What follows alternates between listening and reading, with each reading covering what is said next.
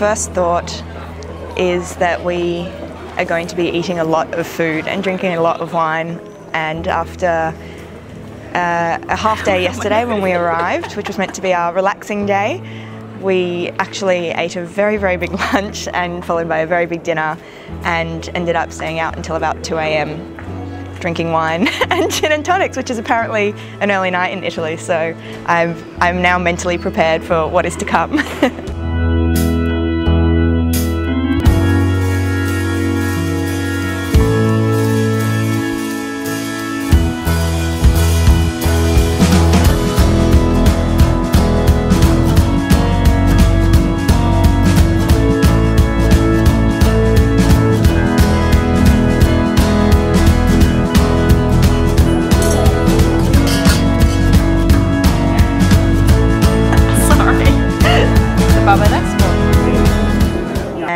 the wine here is actually supposedly quite strong compared to what I'm used to at home. So upwards of 14% alcohol content and quite uh, heavy red wines they're known for in this region, uh, the different varieties of Nebbiolo, which I quite like. Just have to drink lots of water to counter it.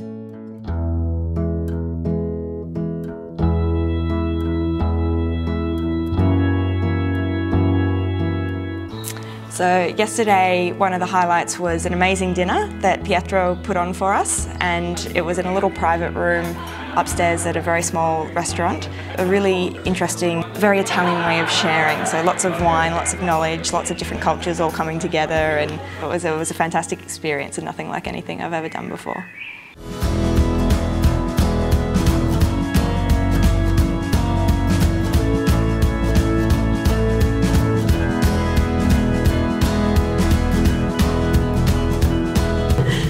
Like I'm going to break something. Being a woman in Italy would uh, depend on your personality. So if you if you like if you like attention, um, or you can handle attention. I had a lot of compliments that I can't understand, but I'm starting to pick up words that have been translated for me. But uh, it's it's very nice, and now I can feel myself blushing. and I also made a friend who was very Italian, in that he kissed my hand a lot and showered me with compliments, which was wonderful. And his name was Hugo, and he was 82 years old. A big standout the other day, uh, we went to Bosticado Winery in Castello, and it was beautiful because we went through, went on a walk through the vineyards, and we tried an amazing Moscato, which is 12 years old, which is very unusual because they don't usually age like that. But probably the best thing about that was uh, seeing the owner, Walter, and his family. They were really gorgeous, picking cherries, laughing a lot, um, very friendly with all of the guests, and it was, it was just nice to see a lovely Italian family in a lovely Italian location.